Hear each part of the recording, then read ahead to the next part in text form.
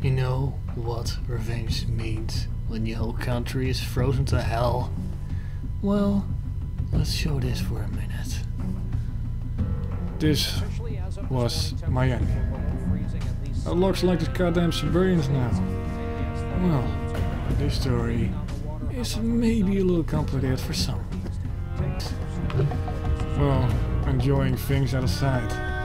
Crazy mad scientist from Russia's back in action. Well, actually, he's standing out his grave because he was killed in Cold War. At least, that's what we thought. Now we're here in 2025. And the rogue satellite actively Aiming on the whole world. Changing the weather with top secret technology. I was waiting for a long time. Still there.